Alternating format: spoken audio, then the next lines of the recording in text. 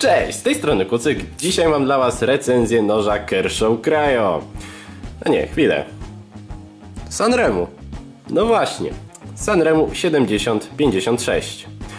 Jest to po prostu Kershaw Cryo właśnie w wykonaniu Sanremu. Design jest po prostu, kolokwialnie mówiąc, zerżnięty. Zerżnięty jak nic. E, właśnie wyświetla Wam się zdjęcie oryginalnego Kershawa Cryo. Jak widzicie, po, prostu jak dwie krople wody. Różnią się jedynie kształtem dupki i kolorem.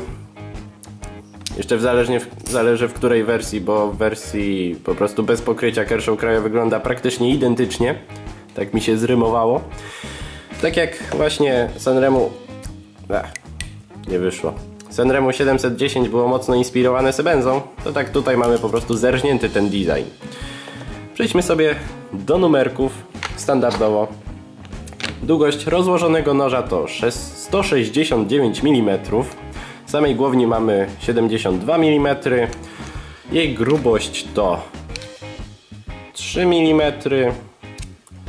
Z kolei długość zamkniętego noża to nieco ponad 9,5 cm.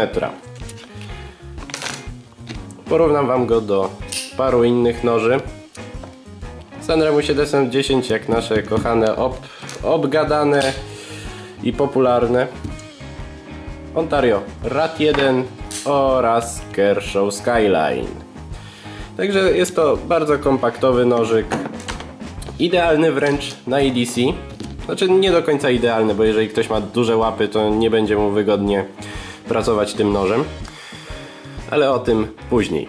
Przejdźmy sobie teraz do głowni. Głownia wykonana ze stali 8CR14 MOV, nie 13.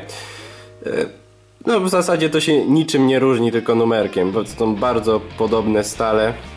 Czyli łatwo się ostrzy i dosyć, dosyć przeciętnie się też tępi. Na głowni, jak i na rękojeści i na całym nożu w ogóle mamy położony stonewash. Mamy tutaj szlif wklęsły. Mamy również fałszywkę. Muszę powiedzieć, że krawędź tąca jest trochę krzywo wyprowadzona przy czubku samym. Tutaj macie z jednej strony, a tu macie z drugiej. No niestety jest trochę krzywo wyprowadzona, jednak nie przeszkadza to jakoś bardzo w użytkowaniu. co tu dalej? Otwieranie głowni, właśnie. Z tym tutaj jest mały problem. Jak kołkiem jest bardzo przyjemnie, możemy sobie spokojnie otwierać. Kołek jest dwustronny. Możemy sobie otworzyć powolutku, możemy sobie wyrzucić. Mamy również flipper. No i z flipperem jest dosyć ciężko. Nie możemy otworzyć noża tak zwanym light switchem, e, czyli w ten sposób. Dla porównania Kershaw Cryo, e, Boże, nie Cryo, Skyline. Już mi się myli. Tutaj możemy sobie spokojnie otworzyć light switchem. Ja wiem, że to są totalnie inne klasy cenowe, ale po prostu chcę pokazać metodę.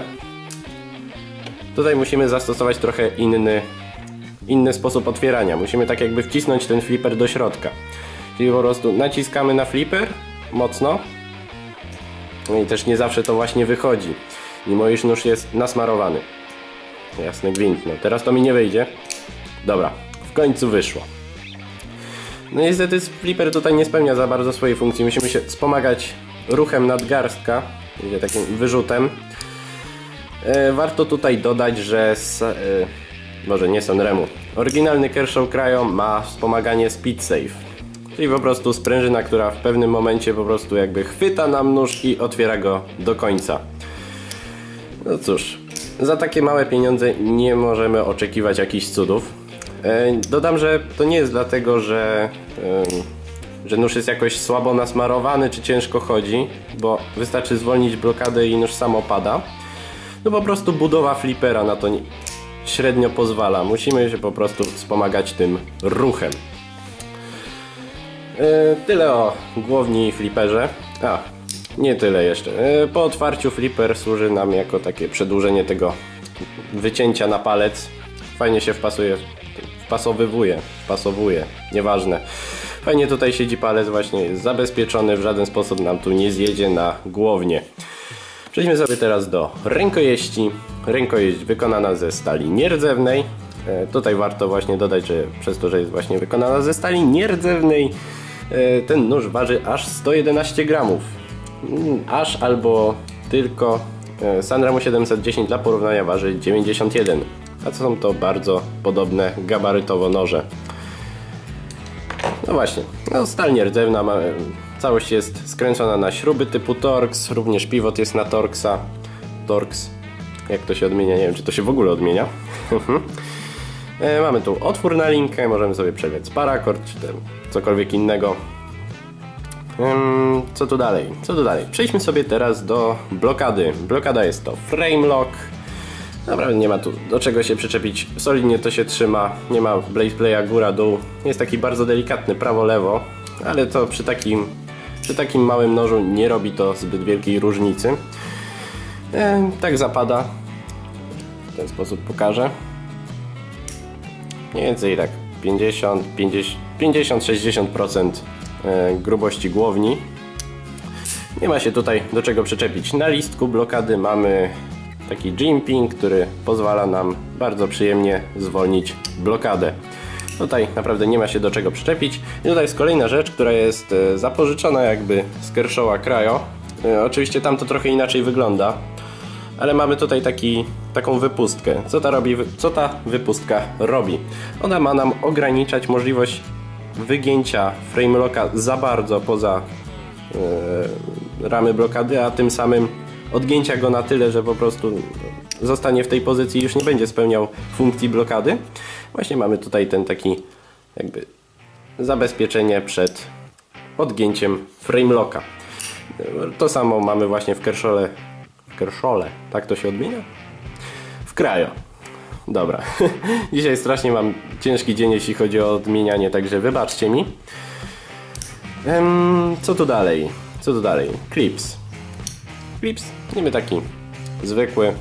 Znaczy może trochę nie, nie do końca aż taki zwykły. Jest pomalowany czarną farbą. Ona delikatnie schodzi. Tutaj możecie zobaczyć na samym koniuszku, że trochę schodzi. Za jakiś czas pewnie dojdzie do gołego metalu.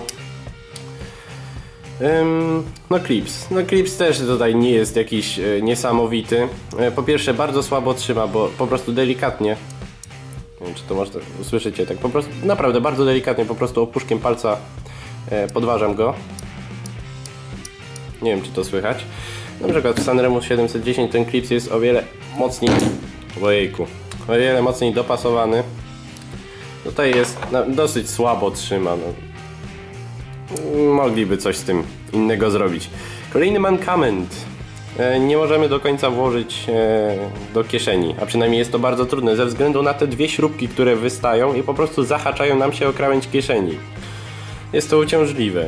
Właśnie a propos, jak siedzi w kieszeni, właśnie możecie zobaczyć.